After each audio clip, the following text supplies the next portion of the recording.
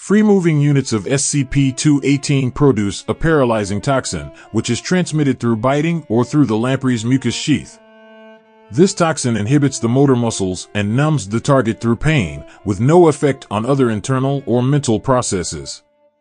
Thus far, there have been no observations of the paralyzing effect wearing off, and no effective antidote has been found.